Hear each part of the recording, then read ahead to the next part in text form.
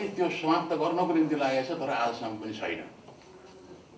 हो त्यसो भएर यो के हो यस्तो विषय हो भन्दा आरक्षण व्यवस्था रहँदासम्म समाप्त हुँदैन। आफूले आफैलाई उत्पीडित भनेर जनप्रतिनिधित्व हुन्छ। तपाईँ कसरी प्रतिनिधित्व गर्नुभयो तपाईँ भने म दलित समुदायबाट प्रतिनिधित्व गरेको हुँ। भनेपछि अब त्यो समुदाय चाहिँ दलित भइरहनु तब न प्रतिनिधित्व हुन्छ। त्यसबाट मुक्त हुने व्यवस्था यसले गर्दैन। गर्दै गर्दैन। इतिहास साक्षी छ। यो उत्पीडन समाप्त गर्ने दलित अवस्था समाप्त गर्ने भनेर चन्द्र शमशेरको पालादेखि सुरु भएको। आज चाहिँ व्यापक रूपमा जाँदाखेरि जनतामा अझ व्यापक छ। महेन्द्रले अठार सालमा ल्याएको संविधानमै जातिपाती छुवाछुतलाई दण्ड सजाएको चाहिँ विषयवस्तु बनायो त्यो पनि समाप्त भएको छैन। र हामीले नै सुरु गरिसक्यो गणतन्त्र आइसकेपछि पनि हामीले चाहिँ भनेका छौँ त्यो छैन र आज पनि त्यही व्यवस्था आलोचना गर्दाखेरि वैदिक कालमा के थियो स्मृति कालमा के थियो पुराण कालमा के थियो त्यसपछिका चाहिँ अवस्थाहरूमा के छन् भनेर भन्दै उत्पीडनको अवस्था छ र यो उत्पीडन चाहिँ आज पनि पाइएन भनेर भनेको छ। उत्पीडनको नाममा हामीले खोजेको के हो?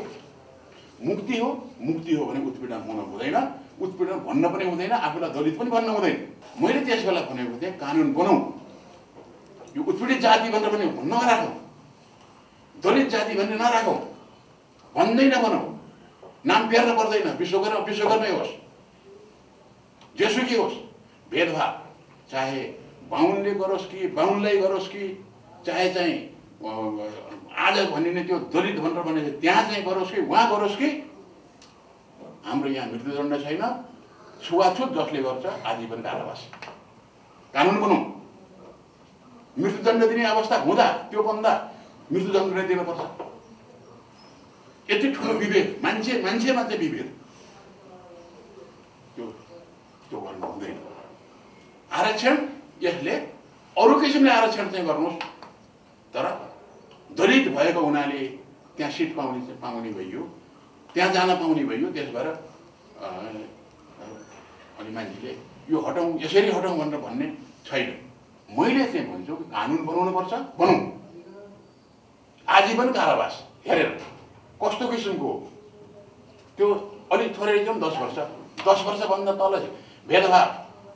उमेरको भेदभाव पनि नगर्ने। त्यो भेदभाव गरे पनि कानुन हुनु हुनुपर्छ हुन त। अब नेपालमै यो पार्टीमा यति वर्ष पुग- पुगेपछि बस्नै पाइँदैन भनेर भन्ने विधान बनाएको छ म चाहिँ बुझ्नमा जाँदैछु? नेपालको ऐन कानुन सारा संसारभरिको व्यवसाय यो विभेद यति वर्ष पुगेपछि पार्टीमा जानु नहुने भनेर भन्ने पाइन्छ।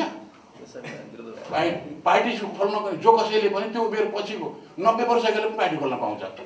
हाम्रो संविधानले त्यो व्यवस्था गरेको छ कानुनले त्यो व्यवस्था गरेको छ अरे फलानाको यति वर्ष पुगेपछि पार्टीबाट हट्नुपर्छ भनेर भन्ने छ अब त्यसो त्यहाँ पनि गरिरहेका छन्।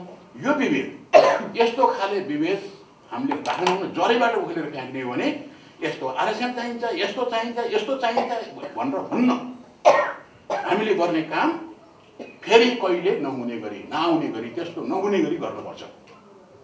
र हामीले यो उत्पीडन आदि इत्यादि विषय नाम पनि चेन्ज गर्ने के के गर्ने हो? दलित उत्पीडित भनेर भन्ने। समाप्त गर्दैन हटाइ नै नाम जेसुकै राख्नु थर जेसुकै राख्नुहोस्। तर भेदभाव र छुवाछुत जसले गर्छ उसमाथि छुवाछुत गर्नेलाई आजीवन कारावास भेदभाव गर्नेलाई दस पन्ध्र दस वर्षभन्दा घटी हुन्न दस वर्षसम्मको चाहिँ त्यो सजाय हुने अनि क्षतिपूर्ति बापत उसले पैसा दिनुपर्ने। उसको घर घरानाबाट उसको सम्पत्तिबाट चाहिँ पैसा दिनुपर्ने। त्यसो गरौँ। यस्तो किसिमको चाहिँ कानुन बनाऊ छुट्टै कानुन बनाऊ र लागू गरौँ। यो भयो भने हामीले केही प्राप्त गर्छौँ केही उपलब्धि गऱ्यौँ अब पाइएन भनेर भन्ने हुन्छ डराउनु दिनै पर्छ। होइन मान्छेलाई जबरजस्ती गर्नुहुन्न जबरजस्ती गर्नुपर्छ। जसले त्यो गरिरहेका छ हो त्यस्ता माथि कारवाही हुनुपर्छ र कुनै पनि यो उचित सबभन्दा माथिल्लो जाति हो भनेर भन्ने हुँदै हुनु यो माथिल्लो जात यो तल्लो जात हो भन्नु हुँदैन। एउटै जात हो। आफ्नो त्यो उत्पीडित दलित म दलित हुँ भनेर भन्ने भयो। म दलित होइन। म मुक्त मानव हुँ। म स्वतन्त्र व्यक्ति हुँ भनेर भन्ने ठाउँमा त्यो आत्मसम्मान जगाउने ठाउँमा जानी भन्दा पनि म दलित हुँ।